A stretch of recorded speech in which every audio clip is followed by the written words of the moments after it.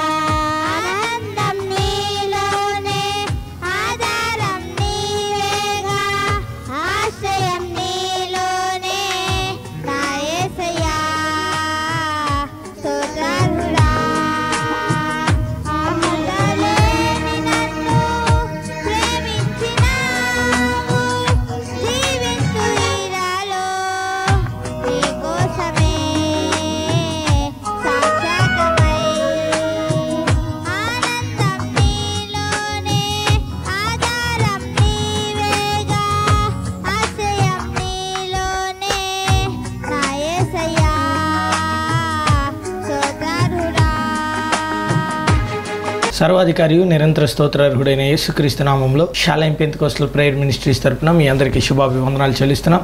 అందరూ దేవుని కృపను బట్టి క్షేమంగా ఉన్నారని తెలుస్తున్నాం. రండి దేవుడు మనకు అనుగ్రహించిన ఈ సమయాన్ని కొద్ది నిమిషాలు దైవ ధ్యానం చేద్దాం. ఆది కాండము పంతొమ్మిదో అధ్యాయము ఇరవై ఆరో వచ్చిన చదువుకుందాం. అయితే లోతు భార్య అతని వెనుక నుండి తిరిగి చూచి ఉప్పు స్తంభమాయను. చిన్న ప్రార్థన చేసుకుందాం. మహాపరిశుద్ధుడా మహోన్నతుడా నిఘనమైన నామను కొందనాలు ఈ సాయంకాలపు వేళలో మీరు మాతో ఉండి నడిపించండి. ఇంతవరకు ఎబినేజర్గా ఉండి నడిపించిన దేవా ఈ సంవత్సరాంతంలో ఉన్నాం. మాతో కొద్ది నిమిషాలు మాట్లాడండి. ఈ కార్యక్రమాన్ని వీక్షిస్తున్న ప్రతి ఒక్క బిడ్డలతో మీరు మాట్లాడండి. పరిశుద్ధాత్మ దేవా మీరే అగ్ని స్వరూపిగా మాతో మాట్లాడి మమ్మల్ని సరిచేయమని మమ్మల్ని బలపరచమని మమ్మల్ని దీవెనలతో కదిలి వెళ్ళుటకు సహాయం చేయమని ఏసు అతి పరిశుద్ధమైన నామంలో అడిగి వేడుకున్నాం తండ్రి. ఆమెన్. మరొకసారి ఈ కార్యక్రమానికి మిమ్మల్ని అందరినీ ప్రేమపూర్వకంగా ఆహ్వానిస్తున్నాం. రండి దేవుని వాక్యాన్ని కొద్ది నిమిషాలు ధ్యానం చేద్దాం. ఈ ఆది కాండము పంతొమ్మిదో అధ్యాయము ఇరవై ఆరో వచనంలో మనం చూసినట్లయితే లోతు భార్య అని మనకు గమనిస్తున్నాం. ఈ లోతు భార్య పేరైతే చెప్పబడలేదు కానీ ఆవిడ పేరుతో అంత ప్రాముఖ్యత లేదని పరిశుద్ధాత్మ దేవుడు ఆమె పేరు చెప్పబడలేదు. కానీ లోతు అన్నారు.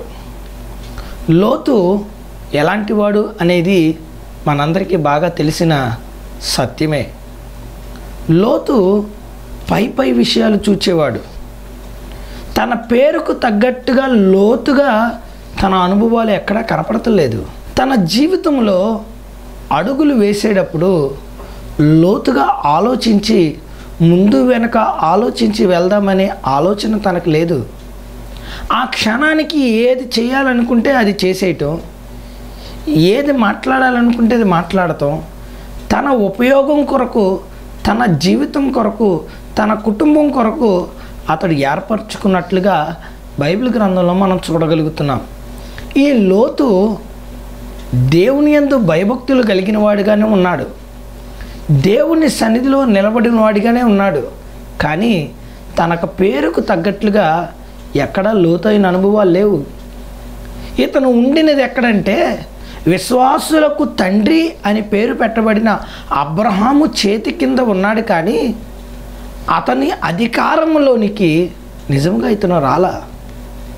తన అధికారంలోనికి అంటే అధికారం అంటే ఏదో తను స్ట్రిక్ట్ అంటే స్ట్రిక్ట్ స్టాండ్ అంటే స్టాండు అన్నట్టు కాదు. తన తనతో పాటు ఉన్నవారు అబ్రహాము చేత అబ్రహాము మాట ద్వారా దీవించబడుతున్నారు. వారందరూ హ్యాపీగా ఉన్నారు. అబ్రహాముకి ఎన్ని శ్రమలు వచ్చినా ఆ శ్రమల్లో వాళ్ళందరూ పాల్గొంచుకున్నారు అబ్రహాం యుద్ధానికి వెళ్దాం పదండి అంటే వాళ్ళందరూ యుద్ధానికి వెళ్ళారు. వారందరూ యుద్ధానికి వెళ్ళారు కానీ ఎక్కడ కూడా వారు ప్రాణం పోయినట్లుగా కానీ వారి కుటుంబాలకు నష్టం కలిగినట్లుగా కానీ బైబిల్ గ్రంథంలో ఎక్కడ సెలవేయలేదు కారణం ఏంటంటే విశ్వాసులకు తండ్రి ఒక బలమైన యోధుడు వారి దగ్గర ఉన్నాడు. ఒక బలమైన అధికారి ఒక బలమైన ఆధారం వారికి ఉంది. మాతో మా మధ్యలో ఉన్న ఈ అబ్రహము మా పైన అధికారిగా ఉన్న ఈ అబ్రహము ఎలాంటి వాడంటే దేవునికి భయపడేవాడు అతనికి దేవుడు సహాయం చేస్తున్నాడు. ఏ మాట అయినా సరే ఆ దేవాది దేవుని మాట ద్వారానే ఈయన చేస్తాడు. కాబట్టి మా జీవితాలు సుఖంగా ఉంటాయి అని ఆయన అధికారంలోనికి లోబడ్డారు. లోతు తన కొరకు కాపర్లను ఏర్పరచుకున్నాడని ఈ కాపర్లను తీసుకొని ఈ అబ్రహాముకి తనకు వైరం వచ్చిందని అబ్రహాము కాపర్లకు తన కాపర్లకు వైరం వచ్చిందని ఈ వైరం వచ్చిన తర్వాత లోతు తన కాపరులను తన కుటుంబాన్ని తీసుకొని సోయరు అని ఒక ఏరియా అంటే అది పచ్చగా ఉండే ఏరియా అంట ఆ ఏరియా దగ్గరలో ఉన్న సుధమ గుమర్ అనే పట్టణాలకి వెళ్ళిపోయాడని బైబిల్ గ్రంథం స్పష్టంగా సెలవిస్తుంది. అక్కడికి వెళ్ళిన తర్వాత ఇప్పుడు స్వేచ్ఛాపరుడయ్యాడు. అక్కడికి వెళ్ళిన తర్వాత తన కుటుంబం స్వేచ్ఛను అనుభవించింది. కొన్ని కొన్నిసార్లు మానవులు అనుకుంటారు కదా ఆశీర్వాదం ఉన్న చోట దీవెన ఉన్న చోట అభివృద్ధి కలుగుతున్న చోట వారిని వారు కన్నులు పొడుచుకొని రిక్తులుగా మారిపోవటానికి నయోమిలాగా వారు ఆలోచిస్తూ ఉంటారు. దేవుడు నిన్ను ఒక కుటుంబాన్ని నీ కుటుంబానికి ఒక బలమైన నాయకుడిని లేకపోతే ఒక సంఘాన్ని ఏర్పాటు చేసి ఈ సంఘములో నువ్వు అభివృద్ధి చెందు. ఈ సంఘము చిన్నదో పెద్దదో లేకపోతే గొప్పదో అనేది కాదు. నేను నీకు అధికారం కలిగిందిగా నీ కుటుంబానికి ఒక నాయకుడిగా నీ కుటుంబం కొరకు ప్రార్థన చేసే ఒక దైవ సేవకుడిని నీ కుటుంబానికి అప్పగించినప్పుడు నీ కుటుంబాన్ని ఆయన చేతికి అప్పగించినప్పుడు నువ్వు నిజంగా ఆయన అధికారానికి లోబడుతున్నావా? దైవ సేవకుడు గద్దించినప్పుడు ఆ పాస్టర్ గారు అయితే ఈ పాస్టర్ గారు అయితే మా ఇంటి దగ్గర ఎన్ని గుళ్ళు లేవు? అంతా కూడా చాలా చక్కగా ఉంటుంది అక్కడ. ఆహ్లాదకరంగా ఉంటారు. అనుకుంటున్నావా? ఈరోజు చాలామంది అంటున్న మాట ఏంటో తెలుసా? ఆ అక్కడైతే బల అదే అక్కడ వాళ్ళు అయితే భలే ఆశీర్వదించబడుతున్నారు. ఎక్కడ వారు అయితే భలే ఆశీర్వదించబడుతున్నారు? అక్కడికి వెళ్తే వారి కష్టాలు పోతున్నాయి. ఫలానా చోటకి వెళ్తే ఫలానా దైవ సేవకుడి చేత ప్రార్థన చేయించుకుంటే మా ఇబ్బందులన్నీ పోతాయి. ఈ పాస్టర్ గారు ప్రార్థన చేస్తే కనీసం బూడిద కూడా రాలతలేదు అని చెప్పని చాలామంది వాపోతున్నారు. ఒకటి గమనించండి. చెట్టు ఎప్పుడు చెట్టుగానే ఉంటుంది. చెట్టు ఎప్పుడు చెట్టుగానే ఉంటుంది. దానికి కాయలు అది ఒగరగానో లేకపోతే తినేది స్వీట్గా ఉండాలో చెట్టు నిర్ణయించదు. చెట్టుకు వచ్చిన కాయలు అవి గుణగణాలు నెరవేరుస్తాయి. కొన్ని కొన్ని కాయలు మనకు తెలుసు బాగా. కొన్ని కొన్ని కాయలు తినే కాయలు చాలా చేదుగా ఉంటాయి. చాలా చేదుగా ఉంటాయి. అరే దానిని బట్టి చెట్టు ఏమన్నా మంచిది కాదా? అసలు ఆ చెట్టే మంచిది కాదా? కాదే అదే చెట్టుకి కొన్ని కొన్నిసార్లు తీయగా ఉండే పళ్ళు వస్తాయి. కాయలు కాస్తాయి. కొన్ని కొన్నిసార్లు భయంకరమైన చేదును ఆ కాయలు వస్తూ ఉంటాయి. గల కారణాలు ఏంటి మనందరికీ బాగా తెలుసు. ఫలించేది కొమ్మలాగా ఉండాలని ప్రభువు కోరుకుంటున్నాడు కానీ నేను తీగలు నేను ఎలాగైతే నేను వచ్చి మీ తీగలను లేకపోతే మీ ఫలాలు ఈ చేదు ద్రాక్షకాయలు కాస్తున్నందుకు నేను మిమ్మల్ని నరికి వేస్తాను అన్నట్లుగా ఉండకూడదని ప్రభు ఈ సాయంకాలపు వేళలో ఆయన కోరుకుంటున్నాడు. లోతు తన జీవితంలో ఎంతో ఎంతో సంపాదించుకోవాలనుకున్నాడు. మా నా మా తండ్రిలాగా నేను కూడా పేరు ప్రఖ్యాతలు సంపాదించుకోవాలి. అతను ఎక్కడికి వెళ్ళినా అతడు గనుడుగా ఉండాలి. ఊరి గవిని వారితో కూర్చోవాలి. పెద్ద పెద్ద వాళ్ళతో నాకు వాళ్ళ మధ్యలో నేను ఒక గనుడుగా ఉండాలి అనే కోరుకున్నాడు. వాస్తవమే నిజమే మంచిదే. నువ్వు గనుడుగా ఉండాలని నీ కుటుంబం ఉన్నతమైన స్థితిలో ఉండాలని ప్రభువే కోరుకుంటున్నాడు. కానీ అట్టి స్థితిలో ఉండాలంటే నువ్వు పట్టుకోవాల్సింది ఏ రాజకీయ నాయకుడినో కాదు లేకపోతే ఏ కులస్తున్నో కాదు లేకపోతే ఒక మతానికి లేకపోతే ఒక దానికి చెందిన వ్యక్తులను కాదు. వారు ఒక రోజున నిన్ను విడిచిపెట్టి వెళ్ళిపోతారు. నీ కుటుంబీకులు అనుకుంటే నీ కుటుంబీకులే నిన్ను మోసం చేసి వెలివేస్తారు. నీ దగ్గర ఉన్నదంతా కూడా లాలన మాటలో చెప్పి అవన్నీ కూడా తీసుకునేంత వరకు కూడా నిన్ను తీసుకున్న తర్వాత వ్యక్తినిగా విడిచిపెడతారు. అదే వ్యక్తుల దగ్గరికి వెళ్ళి సహాయం కోరు మెడబట్టుకొని బయటికి గెంచేస్తారు. కానీ నా దేవుడు అలాంటి వాడు కాదు. మన దేవుడు అలాంటి వాడు కాదు. ఆయన ముదిమి వచ్చు వరకు నిన్ను ఎత్తుకుని వాడను నేనే అని ఆయన సెలవిస్తున్న దేవుడు. దేవునికి స్తోత్రం. ఈ సాయంకాలపు వేళలో నువ్వు ఎవరి వైపు తిరుగుతున్నావు ఎవరి వైపు ఉన్నావు అనేది ఒక్కసారి పరిశీలించుకో. ఇక్కడ మనం చదువుకుంటున్న ఈ లోతు భార్య తను ఎంతగానో కూడగట్టిందంట. ఈ లోకంతో సహవాసం చేయటం వల్ల లోకం ఆశలు తనలో ఉండటం వలన నేత్రాశ వలన జీవపు డంబం వలన ఆమె అనేకమైన వాటిని సంపాదించింది. తప్పేం కాదు. వాటిని సంపాదించింది వాటిని సంపాదించుకుంటూ ఒకవేళ దేవుని మీద ఆశ కలిగి భక్తి కలిగి జీవించుంటే చాలా బాగుండేది. కానీ ఆవిడ ఎంతసేపు లోకంలో ఉన్న వాటి వైపు లోకంలో ఉన్న వాటి మీదే మనసు పెట్టి తన జీవితాన్ని కోల్పోయింది. తన జీవితమే కాదు తన పిల్లలకు కూడా దేవుడు అనే ఒక భయం లేకుండా దేవుని సన్నిధి అవతల తన తండ్రి పెనతండ్రి అక్కడ అబ్రహాం గారు ఉన్నారు. ఎంతో భక్తిపరుడు. తన దగ్గర చాలా దినాలు లేకపోతే చాలా సంవత్సరాలు వారితో కలిపి గడిచారు. ఆ అనుభవాలు ఏమీ కూడా తన కుటుంబంలో కనపడతలేదు ఒక్క లోతు దగ్గర తప్ప ఇక ఎక్కడా కూడా అనుభవాలు మన దగ్గర మనకు కనపడవు. గల కారణాలు ఏంటంటే లోకము వారిని ఏలుతుంది. ఈ సాయంకాలపు వేళలో నేను దేవుని బిడ్డనేనండి నేను దేవుని సన్నిధిలో ఉంటున్నవాడినినండి నేను దేవుని బలలో కార్యక్రమంలో నేను చేయి వేస్తున్న వాడినండి ప్రతి దానిలో కూడా నేను పాల్గొంటున్నానండి అంటున్న నీలో నీ కుటుంబం నిజంగా దేవుని వైపు ఉందా లేకపోతే లోకం వైపు ఉందా? కొంత కొంతమంది ఇళ్ళలో ఎలా ఉంటుందంటే వారు చాలా సున్నితంగా ఉంటారు. ఆ మధ్యన మేము ఒక ఇంటికి వెళ్ళాం. ఒక ఆవిడ ప్రార్థన చేస్తానికి రండి అంటే ఇంటికి వెళ్ళాం. ఇంటికి వెళ్ళంగానే నేను మా నాన్నగారు ఇంటికి వెళ్ళంగానే ఆవిడ ఇంటికి వెళ్తుంతోనే ఓ పెద్ద కేక వేసింది. రాయ్ టీవీ ఆపేయండి అని. పిల్లలందరూ అక్కడ ఆడు కోలాహలంగా ఉంది. వాళ్ళు పాపం క్రికెట్ లేకపోతే బొమ్మలు చూస్తున్నట్టున్నారు.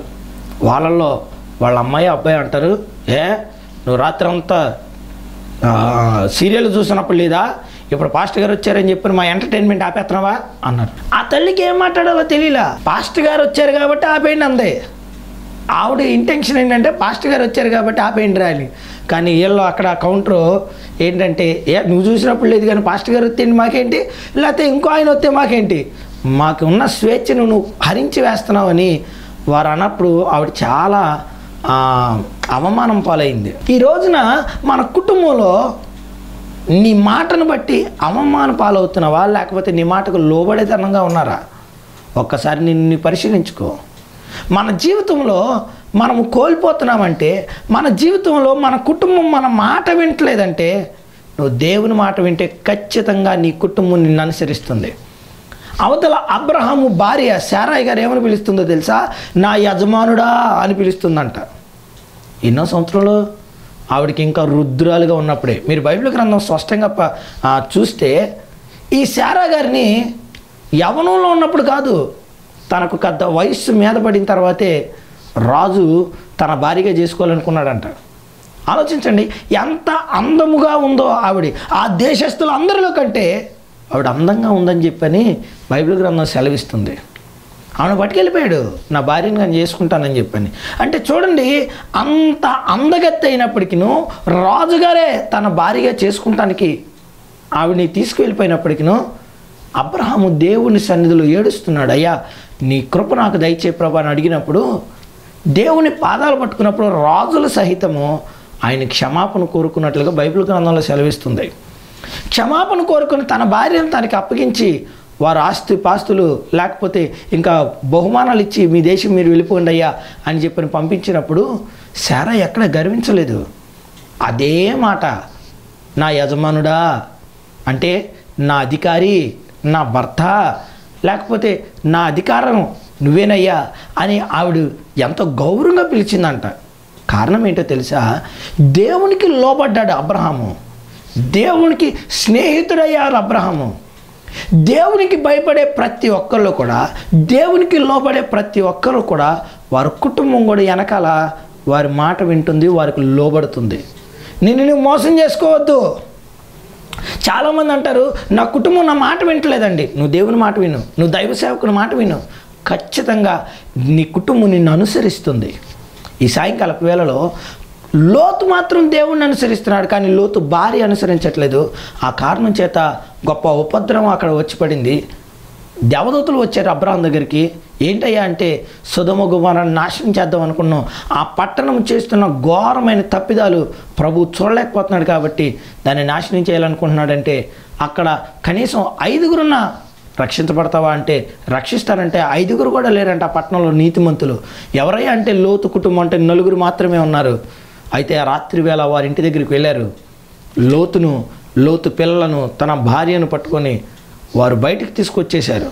బయటికి తీసుకొచ్చి దూరంగా కనపడుతున్న ఆ ప్రదేశానికి కొండల్లోనికి వెళ్ళిపోతే లోతు అడుగుతున్నాడు అంత దూరం నేను వెళ్ళాలంటే నా వల్ల కాదయ్యా. ఇదిగో దగ్గర ఉన్న ఈ కొండల్లోనికి వెళ్ళిపోతాను. చూడండి లోతు ఎంతకాలము కూడా తన జీవితంలో తన కొరకు ఇంకో రకంగా చెప్పాలంటే తను అవసరం తీరిపోయేంతవరకు తన తన తన కొరకు మాత్రమే అంత దూరం నేను ప్రయాణం చేయలేను ఇక్కడికి వెళ్తాను అంత భక్తి నేను చేయలేను ఇంతే చేస్తాను అంతసేపు దేవుని సన్నిధిలో గడపలేను. ఎక్కడ కూర్చుంటా బాబు? ఊరి గౌని కాడ కూర్చుంటా. మనం కూడా మన జీవితంలో ఒక అర్ధగంట ప్రార్థన అమ్మో బాబోయ్ అర్ధగంట ప్రార్థన ప్రార్థనేనండి చేయలేనండి. ఒక పది నిమిషాలు అయితే చేస్తాను ఒక ఒక ఐదు అధ్యాయాలు చదవగల అబ్బోయ్ అబ్బో బాబోయ్ అసలు టైం లేదు మా దగ్గర. ఒక అధ్యాయం కూడా కష్టమే. దేవునితో సమయం గడపడానికి గంట సేపు మందిరంలో కూర్చుంటానికి చాలామందికి అదేదో ఆ నిప్పుల మీద కూర్చున్నట్టుగా ఫీల్ అవుతూ ఉంటారు. దైవావేశంతో దైవ సేవకుడు వాక్యం చెప్తుండగా టయాలు చూపిస్తూ ఉంటారు చాలామంది ఈ రోజుల్లో. ఆలోచించండి మన జీవితంలో దేని కొరకు మన సమయాన్ని ఇస్తున్నాం? లోతు అంత దూరం వెళ్ళలేను కానీ ఇదిగో ఈ దగ్గరలోకి వెళ్తాను. ఆ దేవదూతలు కూడా వెళ్ళాయి అయితే పర్వాలేదు వెళ్ళిపో. వెళ్తున్న సందర్భంలో వాళ్ళు చెప్పిన మాట ఏంటంటే వెనక్కి తిరిగి చూడొద్దు. వెనక తిరిగి చూడొద్దు. అలాగనే అనుకున్నారు. వారు పరిగెత్తుకుంటూ వెళ్ళిపోతున్నారు. వారు వెళ్తున్న సందర్భంలో లోతు భార్య వెనుకకు తిరిగి చూచిందంట. ఏమైంది? ఉప్పు స్తంభమాయను. ఏమైందంటే ఉప్పు స్తంభం అయిపోయింది. కారణం ఏంటంటే దేవుని మాట చెప్తుంది నాగలి మీద చేయి వేసిన వాడు వెనుకకు తిరిగి చూడకూడదంట. దేవుని సన్నిధిలో భక్తి జీవితంలో నీ వెనుకటి వైపు నీవు తిరిగి చూడకూడదు. నీ పాత జీవితం వైపు నువ్వు తిరిగి చూడకూడదు. మరి ఏమైపు చూడాలి? దేవుడు చేసిన ఆశ్చర్య కార్యాలు తలపోసుకుంటూ ఆయన అంటాడు పౌలు అంటాడు కదా నేను వెనుకటి స్థితిని ఎరిగిన వాడను. ఇంత ముందున్న స్థితి కూడా నాకు తెలుసు. అంటే ఆయన గుర్తు చేసుకుంది ఏంటో తెలుసా? పూర్వము నేను దూషకుడును హింసకుడను హానికరుడను అయితే ఇప్పుడు నేను క్రీస్తు దాసుడను. తన జీవితంలో అంతకు ముందు పాపమే కానీ ఇప్పుడు ఆశీర్వాదకరంగా మారాను. కాబట్టి ఆ పాప జీవితాన్ని నేను గుర్తు చేసుకుని నేను దాన్ని గుర్తు చేసుకోవటం వల్ల మళ్ళీ పాపంలోనికి తిరిగి వెళ్తలా? ఇప్పుడు నేను ఆశీర్వాదం వైపు తిరుగుతున్నాను. దేవునికి స్తోత్రం. ఈ సాయంకాలపు వేళలో నువ్వు దేని వైపు తిరుగుతున్నావు? బైబిల్ గ్రంథంలో అంటాడు కదా ఆగిపోక సాగిపోండి. ఆగిపోవద్దు సాగిపోండి. బైబిల్ గ్రంథంలో ఇద్దరు ముగ్గురు ఉన్నారు. వారు కూడా ఆగిపోయారు. వారి జీవితాల్లో సమస్తమును నాశనం అయిపోయారు. మనం ఇక్కడ చూస్తున్నట్లయితే లోతు భార్య ఎప్పుడైతే వెనుక తిరిగి చూడిందో ఉప్పు స్తంభంగా మారిపోయిందంట. అలా శిలాపలకంగా ఈ రోజు వరకు కూడా అక్కడ స్తూపంలాగా అక్కడ స్తంభంలాగా నిలబడిపోయింది. ఇజ్రాయెల్ దేశం చూసిన వారు లేకపోతే యూట్యూబ్ లేకపోతే ఇంకా గూగుల్లో సెర్చ్ చేస్తే ఆ ఊ లోతు భార్య ఎలా ఉందో మీరు చూడగలరు. కారణం ఏంటో తెలుసా? దేవుని ఉగ్రత వెంటనే దిగి వచ్చింది. వెనక్కి తిరిగి చూసింది. ఎందుకు చూసింది? తను సంపాదించిన సంపాదన తన పిల్లల కొరకు తన కుటుంబం కొరకు తన ఆశలో వెనక్కి తిరిగి చూసింది. ఏమున్నాయి అక్కడ? వెండి బంగారము వస్తువులు ధనధార్యము ఇవన్నీ కూడా తన ఇంట్లో ఉన్నాయి. ఇప్పుడు అవన్నీ కూడా అగ్ని గంధకముల చేత కాల్చబడుతున్నాయి. ఇప్పుడు ఆ కాల్చబడుతున్నప్పుడు బాబోయ్ ఇవన్నీ ఏమైపోతున్నాయి? అని ఒక్కసారి వెనక్కి తిరిగి చూసింది. దేవుడేమో వెనుకకు తిరిగి చూడొద్దు అని అంటే ఈవిడ ఆశ అంతా ఎక్కడుందో తెలుసా? విడిచి వచ్చిన ఇంటికాడే ఉంది.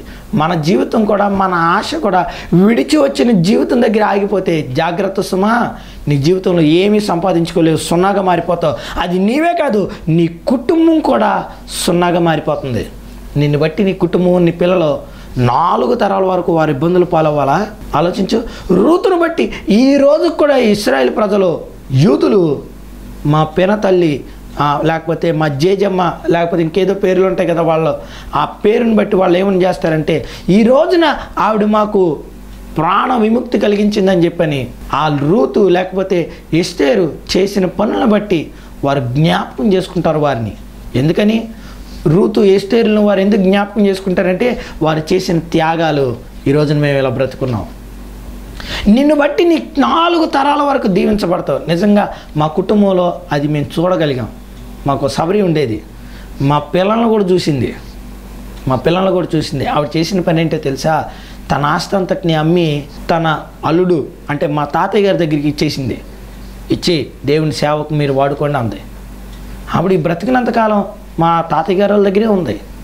తిరిగి మళ్ళీ తన కుటుంబం దగ్గరికి వెళ్ళలేదు. తన బంధువులు అనేవాళ్ళు అక్క నువ్వు ఎంత తప్పుదం చేసావు తెలుసా? అని మాకు తెలిసిన బంధువులు వాళ్ళ తమ్ముళ్ళు అంటూ ఉండేవాళ్ళు. అనవసరంగా అమ్మేసావు నువ్వు. ఈరోజు కొన్ని లక్షల కోట్లు పలుకుతుందంటే ఆవిడ చాలా చిరునవ్వుతో పర్వాలేదురా నేను దేవుని పనికి ఇచ్చేసాను సారేపత్తులో ఉన్న విధవరాలు ఎలాగైతే దేవుని పనికి ఇచ్చిందో ఆవిడ కూడా తన ఆస్తిపాస్తులు మా మా మోసే తాతయ్య గారు అలాగే మా జేజమామ్మ వాళ్ళిద్దరూ కూడా దేవుని సన్నిధిలో వారు దేవుని కొరకు ఇచ్చివేశారు. మాకున్న ఆస్తి మా కుమార్తెకితే వారు దేవుని పని చేస్తున్నారు. ఆ పనిలో వారు నిమగ్నమై ఉంటారు. వారికి ఎంతగానో ఉపయోగపడతాయని వారి ఆస్తిని అమ్మి తీసుకొచ్చి వారు దేవుని సన్నిధిలో దేవుని పాదాల దగ్గర పెట్టారు. వారిని దేవుడు నాలుగు తరాలు దీవించాడు. మా పిల్లలను కూడా చూసింది. మా పెద్ద అమ్మాయిని కూడా చూసింది ఆవిడ. కారణం ఏంటంటే దేవుని కృప నాలుగు తరాల వరకు ఉంటుందన్నారు. ఈరోజు నీ కుటుంబానికి నువ్వు ఆశీర్వాదకరంగా ఉన్నావా? లేకపోతే రిక్తునిగా పనికిరాని వానిగా పనికిరాని దానిగా నువ్వు నిలబడిపోతున్నావా? ఒక్కసారి ఆలోచించుకో. నిన్ను నీవు పరిశీలించుకొని లోతులాగా కాకుండా అబ్రహాము వలె దేవుని పాదాలు పట్టుకుంటే దేవుని కృప నీకు తోడై ఉంటుంది. లోతు భార్య వెనుకకు తిరిగి చూసింది. అంటే వెనుకటి స్థితిని వెనుకటి ఆశలను వాటి హృదయాలలో పెట్టుకుంది కాబట్టి ఆవిడ వెనక్కి తిరిగి చూడగలిగింది. ఈరోజు నువ్వు కూడా లోకం అనే ఆశ నీలో ఉంటే పతనమైపోతావు. లోకము కాకుండా దేవుడు కాకుండా లోకం నీ జీవితంలో ఉంటే లోకపు మాటలు లోకపు తలంపులు లోకపు ఆలోచనలు నువ్వు కలిగి ఉంటే నువ్వు వ్యర్థుడిగా నిలబడిపోతూ ఉంటావు. అందుకనే మొదటి కీర్తనలు అంటాడు కదా వ్యర్థమైన ఆలోచన లేకుండా దాన్ని అంటాడు కదా అక్కడ కీర్తనకారుడు అంటాడు నేను ఎలా ఉండాలంటే వారందరూ కూడా చెడిపోయిన వారు. వారి ఆలోచనలు కేవలం చెడ్డవి. మరి ఏం చేయాలి? దుష్టుల ఆలోచన చెప్పున కాకుండా నేను దేవుని మాటను బట్టి నేను బ్రతుకుతాను.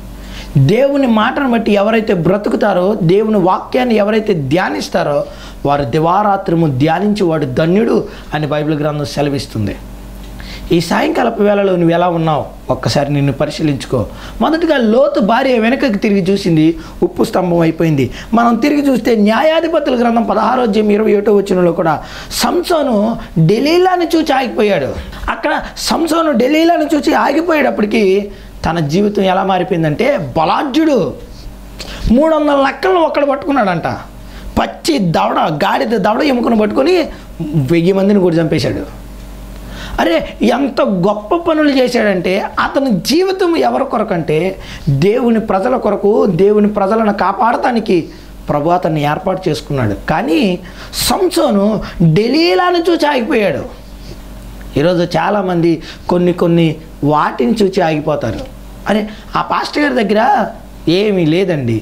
ఏముండాలి? ఆ పాస్టర్ గారి దగ్గర అసలు మా పాస్టర్ గారు చేయెత్తితే ఆ పా పలానా పాస్టర్ గారు చెయ్యి ఏకముందే దబ్బమని పడిపోయారండి. కచ్చీపు ఎలా అంటే చాలండి మా పాస్టర్ గారిలో శక్తి ఉందండి. ఆయన కచ్చీపులో కూడా శక్తి ఉందండి. మీకు తెలుసా? పౌలు భక్తుడు నీడపడి అపోస్తులను నీడపడి అనేక మంది చనిపోయిన వారు కూడా లేచారంట. పౌలుకు అనేకమైన సార్లు విషసర్పం కలిసి కూడా బ్రతికే ఉన్నాడంట.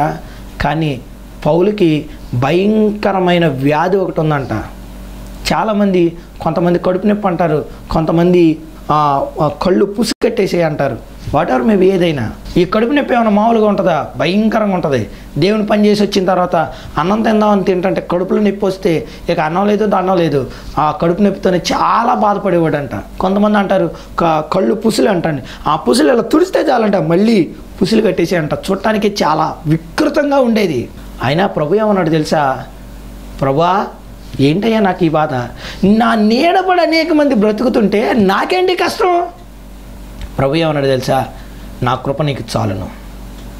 అనేకమైన సార్లు ఆ వాక్యాన్ని మనం ఎక్కడ పడితే అక్కడ వాడేస్తాం. కానీ ఆ వాక్యం చెప్పింది ఎందుకో తెలుసా? తన కష్టములో తన ఇరుకులో తన ఇబ్బందులో దేవుని వైపు చూచాడు. పౌలు అయ్యా నాకున్న బాధ అయ్యా తనకున్న బాధ ఏదైనప్పటికీ నా బాధ ఇదయ్యా అంటే ప్రభు సెలవిస్తుంది నా కృప నీకు చాలు పౌలు. అంటే ఈ కష్టం ఇలా పడుతూనే ఒక ముళ్ళు నాలో ఉంది అని పౌలు అనేకమైన సార్లు అంటాడు.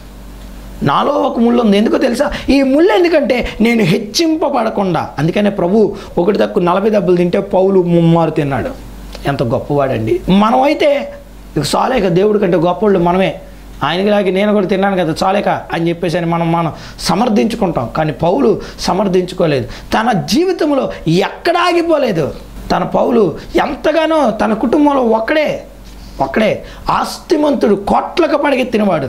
కానంట ఆవిడ జీ ఆ తన జీవితంలో ఎంత గొప్పవాడంటే ఒకే ఒక జతతో బతికాడంట. ఆ జత ఉతుక్కుని ఆరేసి దండి మీద ఆరేసి అది అలాగే దండి మీద ఆరేంత వరకు అతను బాత్రూంలోనే కూర్చునేవాడంట. మీరు ఆలోచించండి ఒకనొక రోజున తన తల్లి వచ్చిందంట అతను పరామర్శించడానికి ఈ సన్నివేశాన్ని చూసి తల్లి బోరు మని ఏడుస్తూ పౌలు కాళ్ళ మీద పడి నీకేంట్రా ఈ కర్మ? నాకు చెప్తే కొన్ని వందల జతలన్నీ నీ ముందుంటాయి కదంటే అమ్మా నాకు ఇది కాదు నాకు కావాల్సింది. సమస్తాన్ని నేను పెంటగా ఎంచుకున్నాను. నేను ప్రభు నాకు ఇచ్చినది ప్రతిది కూడా నేను దాన్నే ఉపయోగించుకుంటున్నాను. చూడండి ఒక్క జతతో తన పరిచర్యం చేశాడంట. ఎంత ఎంత గొప్పవారండి. తనకున్నదంతా కూడా వేయపరుచుకున్నాడు. సంసను తనకున్న బలము తనకున్న జ్ఞానము తనకున్నదంతా కూడా తీసుకువెళ్ళి ఎక్కడ పెట్టాడంటే ఢిల్లీలను చూడటంలో మొదలుపెట్టాడు. పదహారో అధ్యాయంలో అంటాడు ఢిల్లీలను ఎప్పుడైతే చూడటం మొదలుపెట్టాడో ఢిల్లీలో వలలో పడ్డాడో తన కళ్ళు ఊడక పడ్డాయి ఈ సాయంకాలపు వేళలో నువ్వు ఎక్కడ ఆగిపోయావో అక్కడి నీ పతనం స్టార్ట్ అవుతుంది. బైబిల్ గ్రంథంలో అంటాడు కదా ఆగిపోక సాగిపోండి. పడ్డవాడు చెడ్డోడు కాదని బైబిల్ లోకంలో సామెత ఉంది. నువ్వు పడిన చోట ఉండిపోవటం కాదు. లే క్రీస్తు నీ మీద ఈ సాయంకాలపు వేళలో ప్రకాశింపజేస్తాడు నీ ప్రతి వేదన ప్రతి కష్టము ప్రతి ఇరుకులో కూడా నువ్వు ఆగిపోక సాగిపోవాలని ప్రభు కోరుకుంటున్నాడు. కాబట్టి ఈ సాయంకాలపు వేళలో ఈ ఇద్దరి వృత్తాంతాలు మనం ముందు పెట్టుకుందాం. అనేకమంది ఉన్నాయి. కానీ మన జీవితాల్లో మనం దేవుడు మనకిచ్చిన వాటిని ఉపయోగించుకొని వాటిని బట్టి మనం దేవుని సన్నిధికి వెళ్దాం. దేవుని పాదాలు పట్టుకుందాం. దేవుడిచ్చే గొప్ప కృప మనమందరం పొందుకుందాం. ప్రార్థన చేసుకుందాం. మా పరిశుద్ధ మహోన్నతురా నీ ఘనమైన నామను కొందనాలు. ఈ సాయంకాలపు వేళలో మీరు మాకు ఇచ్చిన శ్రేష్టమైన సమయాన్ని బట్టి నీకు వందనాలు.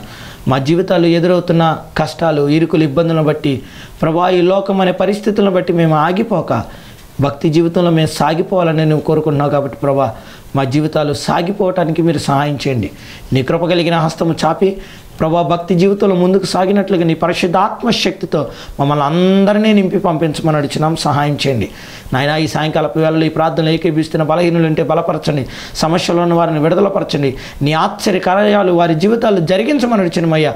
మరణ పడకల మీద ఉన్న ప్రతి బిడ్డలను కూడా ప్రభా మీరు గాయపడిన హస్తంతో ముట్టి లేవనెత్తమని అడిచినామయ్యా. మీ ఆశ్చర్య కార్యాలు వారి జీవితంలో జరిగించండి. వారికి ఉన్న ప్రతి అక్కరతలు తీర్చండి. నాయన గతించిన వారం అంతా మీరు కాపాడారు. రాబోతున్న వారంలో మీ సన్నిధి తొడుగు ఉంచి ప్రతి ఒక్క బిడ్డలను మీరు బలపరిచి మీ ఆత్మ కార్యాలు జరిగించి అనేకమైన గొప్ప సాక్ష్యాలు మేము వినుటకు సహాయం చేయమని మరొక తరం కొరకు మమ్మల్ని అందరినీ సిద్ధపరచమని. ఏసు అతి పరిశుద్ధమైన నామంలో అడిగి వేడుకున్నాం తండ్రి. ఆమెన్.